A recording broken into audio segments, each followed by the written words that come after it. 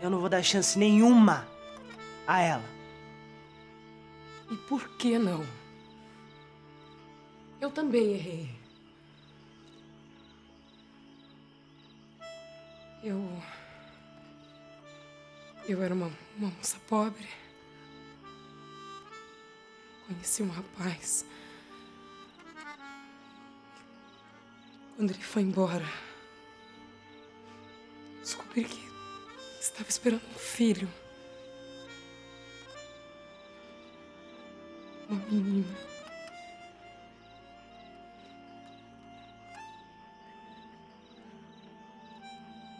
O desespero. Deixei na casa de uma pessoa rica para poder criar.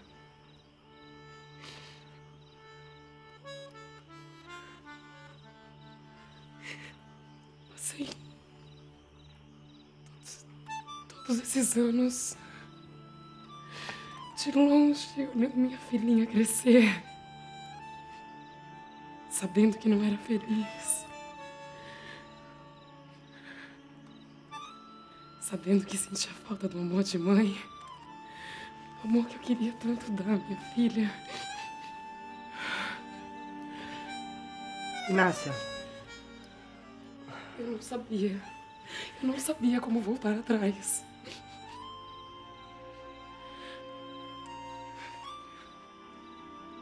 Inácia.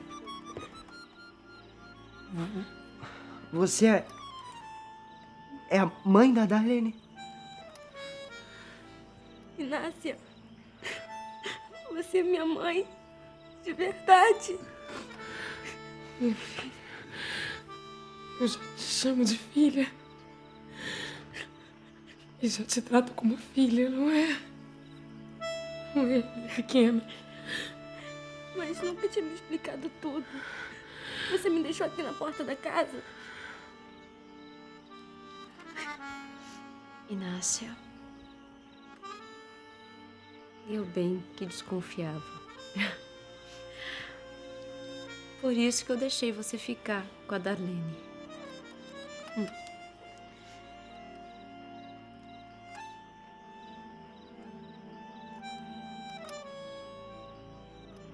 Lembra? No Natal você me pediu uma mãe de verdade.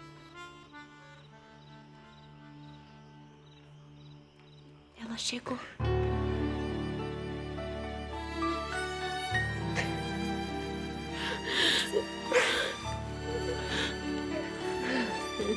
Que bom, que bom que você é minha mãe de verdade.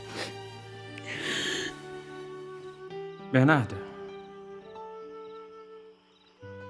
Todos nós erramos. Eu errei, a Ana Francisca errou. Erramos sempre. Erramos sempre porque somos humanos, mas também temos uma capacidade imensa de amar. Bernardo, perdoe a sua mãe.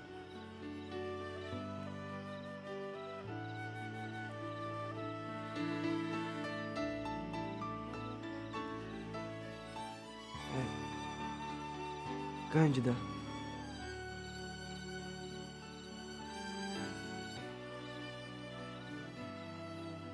Mãe.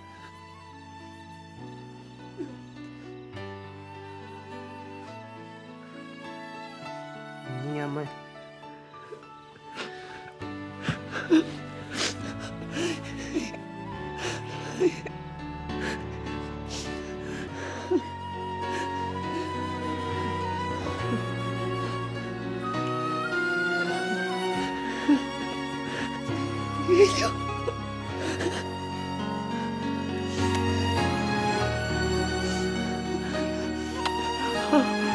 Eu sabia! Eu sabia que a senhora não ia esquecer da minha pessoa. Bom, eu já teria esquecido, mas o seu tio vai custear as despesas. Meu, meu tio? Meu tio abriu a mão? Meu Deus do céu, o teto vai cair! Bom, eu farei o que puder para que possa responder o processo em liberdade. Assine. É uma procuração. É para que eu possa defendê-lo.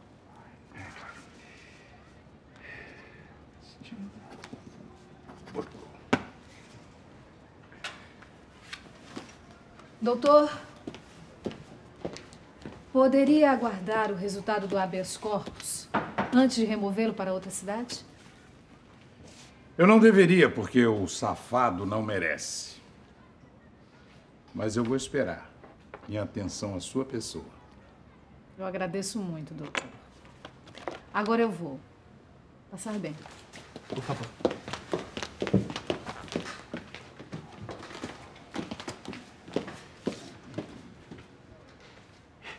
Quem diria, hein, delegado interino?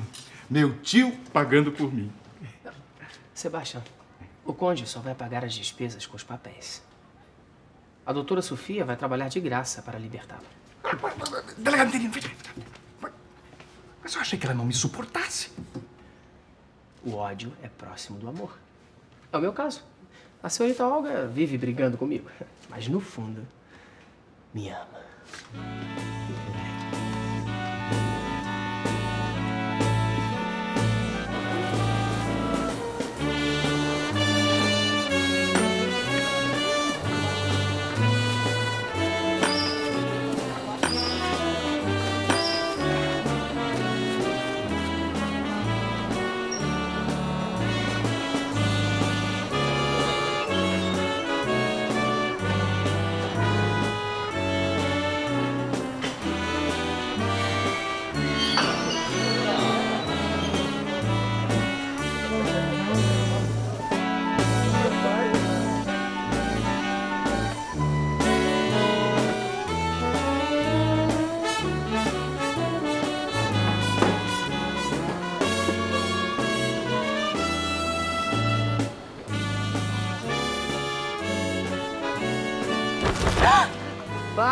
Bárbara!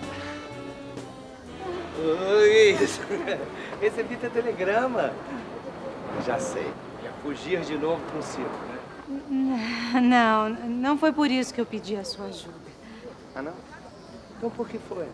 É, é que eu me lembrei que era você quem, quem pintava os cartazes do circo.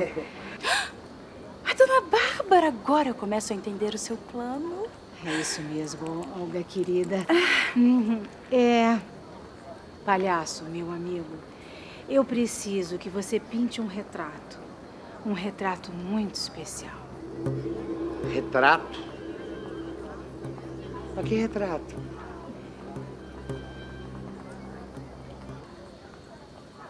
Bem, então eu vou. Eu vou precisar de um retrato dessa pessoa. Eu posso arrumar isso. E vou precisar também de uma tela e tinta a óleo. Tinta a óleo? É, porque os cartazes que eu faço aqui no circo é tudo com tinta comum. O que vocês estão me pedindo já é um retrato mais elaborado. Eu vou precisar de tinta a óleo, que eu não tenho aqui, né? Eu dou um jeito de comprar. Não tem que ser secreto. Você não falou que era segredo. Se você for comprar, eles vão descobrir que nem dois e dois são quatro. Palhaço! Se eu arrumar as tintas, você pinta o retrato que a dona Bárbara pediu? Pinto. Isso pra mim é fácil. Eu pinto os retratos dos artistas aqui do circo. É mais um dom que eu tenho. Pois então eu vou arrumar. Disso depende a minha felicidade. Eu? Eu tenho jeito de quem tem ciúmes. Você tem exatamente o jeito de quem tá morrendo de ciúmes.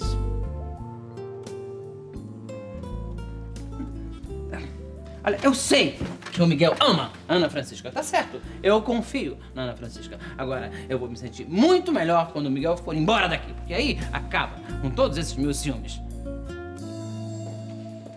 Miguel, eu sei que já estava para partir, mas se puder ficar mais algum tempo, pode ajudar a Márcia a vender bombons, arrumar novos clientes. É claro que eu fico.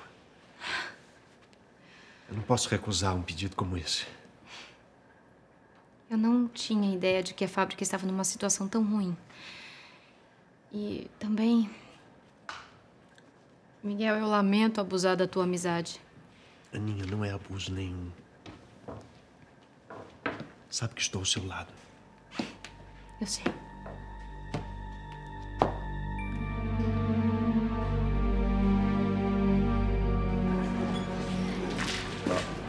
Dona Gisbieta, eu, eu não, assim, não, não entendi muito bem. Por que, que a senhora quis ficar aqui na, na fábrica de nós? Ótimo, ótimo. Eu, eu, eu quis ficar porque... Porque não tem onde cair morta, Timóteo. Mas você não dê palpite na minha vida, sua caipirona. E vou dizer uma coisa pra você: quem ficou há de trabalhar dobrado. Que nós temos que fazer bombom, nós temos que fazer bolo e temos que dar conta do serviço. Mexe o tacho, mexe o tacho, dona Jezebel. Mexe o tacho, mexe, mexe, mexe, não come, mexe, mexe o tacho. Ô, ô, ô, ô, ô, Márcia? Mexe. Márcia? Hum? Ma- Ma- Márcia, ô, ô, ô, você tá em outro... no mundo, Márcia? Não, que eu tô pensando aí que... Ai, que é tanto problema, né? Bom, vou indo pra procurar mais cliente pra vender mais. A Aninha está pedindo para que o Miguel fique mais tempo? Danilo, eu fiz uma reunião para falar dos problemas da fábrica. Boa parte dos funcionários resolveu ir embora. Só ficaram a minha família e os funcionários mais fiéis. Miguel, você não estava terminando de consertar o seu balão? Danilo, eu não posso abandonar a Aninha numa situação tão difícil.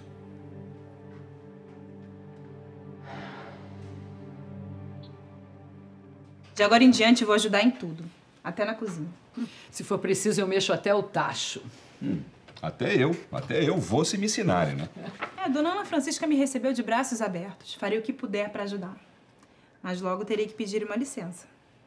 Vou me casar. Casar? Casar? Com o Maurício, neto do Conde Klaus. Você vai virar condessa? Nem pensei nisso, mas eu gosto dele. E ele de mim. Bem, vou tratar da papelada dos funcionários que se demitiram.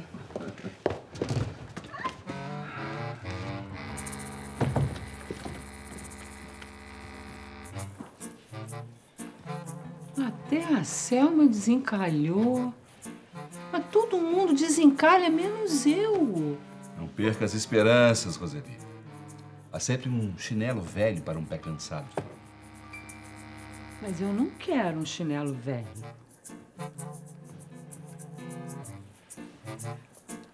Mas também não precisa ser tão novo.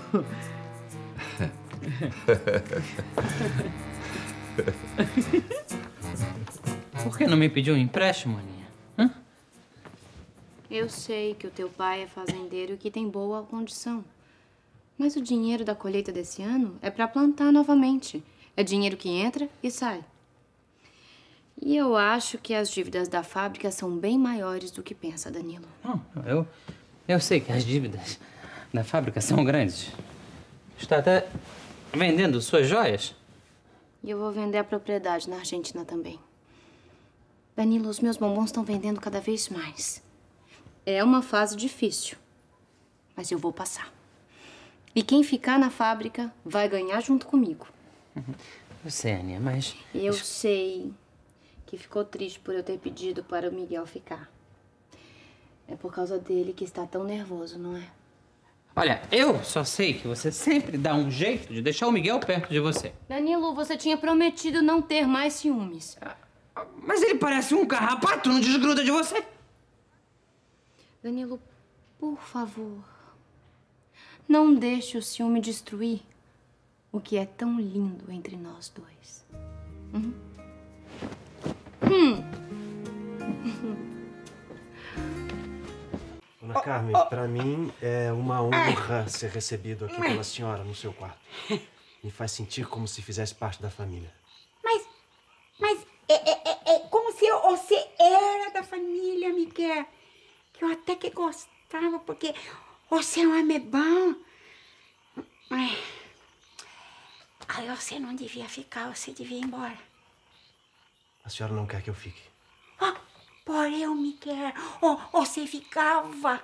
o tempo inteiro, ficava a vida inteira, Miguel. Mas eu sei por que, que você tá ficando. Você tá ficando por quê? Porque a Aninha pediu. Sim, a Aninha pediu e não me custa nada ajudar ela mais um pouco. Ah, Miguel, você não engana essa velha. Não, Miguel. Você gosta da Aninha? Você gosta da Aninha? Assim como um homem gosta de uma mulher, né? Dona Carmen, eu não vou ficar escondendo os meus sentimentos. Mas, mas, mas eu sei, Miguel, mas, mas eu sei, mas ela acabou com o Danilo. Você, você não vai ter perto do Danilo. O Danilo não vai ter paz. Mas se o Danilo não tem confiança nela, ele não merece ficar com a Aninha. Se ele é capaz de destruir um amor tão bonito por ciúme, um ciúme sem motivo. Oh, oh. Miguel, escuta aí, escuta aí. Homem, quando tá com minhoca na cabeça, ele acha um motivo. Se você continuar aqui perto da Aninha, o Danilo vai achar o motivo e você vai acabar separando os dois. Dona Carmen, a Aninha precisa de mim para salvar a fábrica. Eu sei, Miguel, eu sei. Você vai ficar aqui até o último tiquinho de esperança, não é? Se o Danilo provar que não merece a Aninha, eu quero estar aqui. Para ela saber que pode contar comigo. Que pode voar comigo para as nuvens do céu se quiser. Olha, eu só espero que você, com tanto amor, com tanta bondade, com tanta honestidade, que eu sei que você é honesto, é bom, você não prejudica o casamento da Aninha. Olha, Danilo tá com ciúme. E homem com ciúme vira bicho. O cheiro da liberdade. Maravilha, mas nós precisamos comemorar. Vamos estourar um champanhe. Só por curiosidade, quem vai pagar a conta? Bom, doutor, eu acabei de sair da prisão, não é? A senhora poderia descontar dos seus honorários. Pois então nada de champanhe nem de jantar. Porque eu só cobrei as taxas legais, que o seu tio só aceitou pagar depois de reclamar muito. Como assim? Quer dizer que a senhora não cobrou pelos seus serviços? Não, eu abri uma exceção. Doutora, que gentileza. Olha, se a senhora não fosse tão brava, eu lhe sapecava um beijinho. Se tentar me beijar, eu grito. Eu faço uma nova denúncia e você volta pra prisão.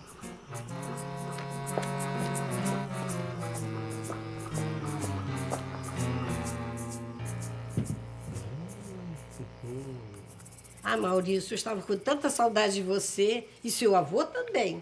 Até comprou linguiça. É, estou vendo. É dia de festa? Linguiça é só pra festa? Ih, minha filha, quando tem gosto pra botar na sopa, já é demais. Cala a boca.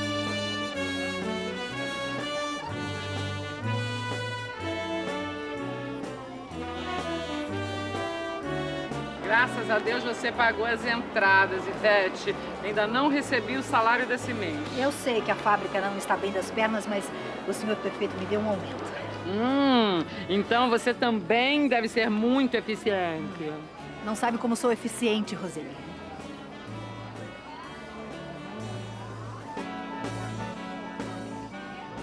Veja, Roseli. Não é o Dr. Paulo com a desfrutável da Gigi? Só faltava essa. Mas isso não fica assim, não. Toma.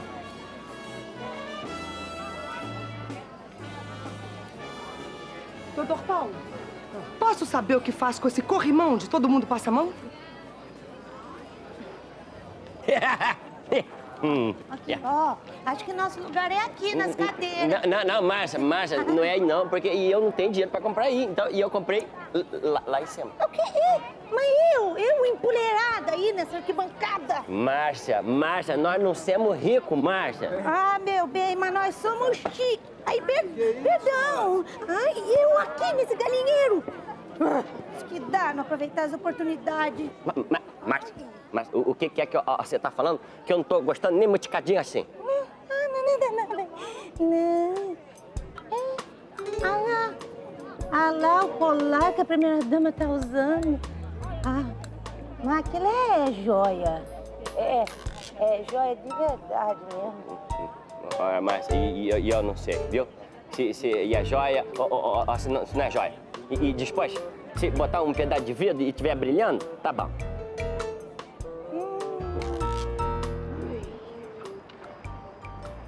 Nada de beijos e nem de pegar na minha mão.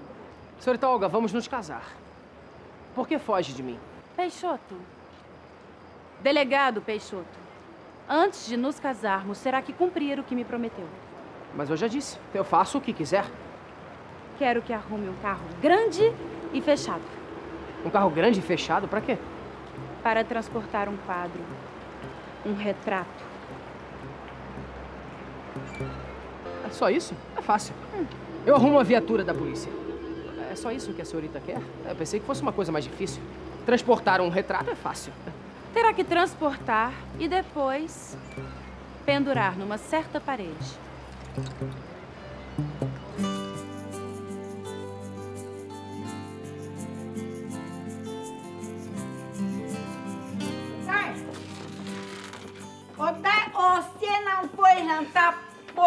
Quê? Ai, eu tinha pensando, dona Carmen. A minha vida é uma cruz. Não tem ninguém pra levar eu por circo. Dai, você é grande, você não é criança pra ir no circo, Daia. Mas o Timóteo levou a Márcia. Todo mundo tá se ajeitando, menos eu, dona Carmen. Ah. Dona Carmen, será que a minha cruz é essa de ficar sozinha? Daia, escuta aí, que, olha que cada um tem seu destino. Você tem que se conformar.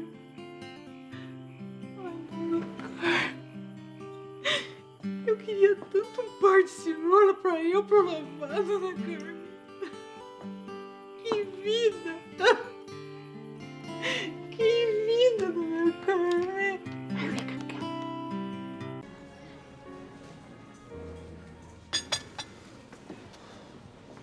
Esperei tanto por esse filho, Margot. Eu não vou suportar perdê-lo. Quase na hora de nascer. Sabe, se fosse. Se fosse menino, eu ia ensiná-lo a jogar futebol. Se fosse menino, eu. Seria uma bonequinha. Eu sei o que é ter um filho e amá-lo. Porque eu amei você, meu filho. Desde o primeiro momento que eu soube que eu estava te esperando.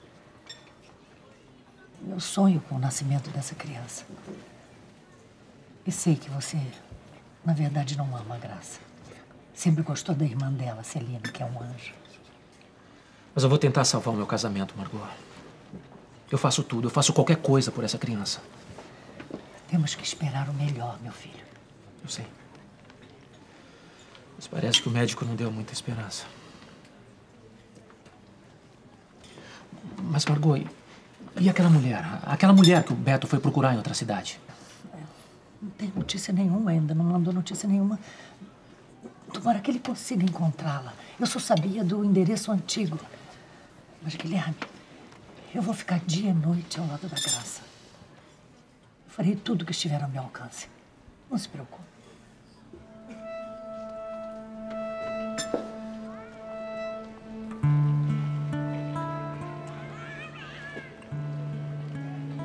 Muito bem, Lili. Eu aprendi muito ao seu lado, doutor. Não sabe como eu lamento ter sido despedida. Eu também lamento.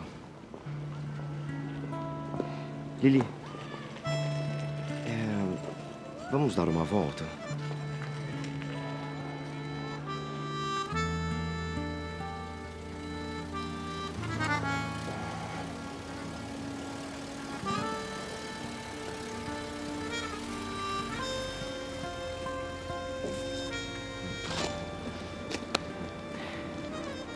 Eu não devia te perdoar, nem falar com você.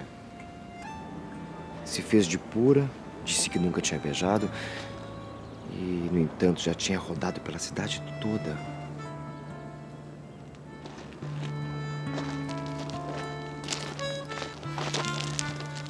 Mas eu não fiz por mal. O senhor veio de fora e eu queria que me respeitasse. Já que aqui já era muito falada. Ainda gosta do. Danilo? Não. Ele era uma fantasia. Doutor, eu aprendi a a reconhecer as suas qualidades. Sinto muita falta do senhor. Eu também sinto muita falta de você, Lili. Quer voltar a trabalhar comigo no consultório? Não. Não? Mas eu pensei que. Eu quero casar com o senhor. E se me quiser, prometo ser uma boa esposa e muito fiel. Acha que fica bem a mulher pedir o homem em casamento, Lili? Ah, doutor, se eu não pedisse, o senhor não se decidiria nunca. Diga, casa ou não casa?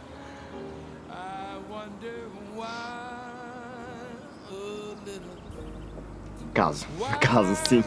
Mas vamos casar na surdina em outra cidade. Porque senão, na hora que o padre perguntar se alguém sabe de alguma coisa contra, a igreja inteira vai se levantar. Think so little of me. They allow you to go. And when you're near,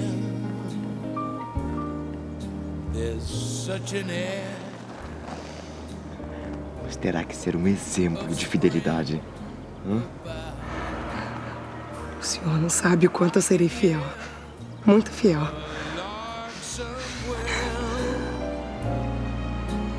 Begin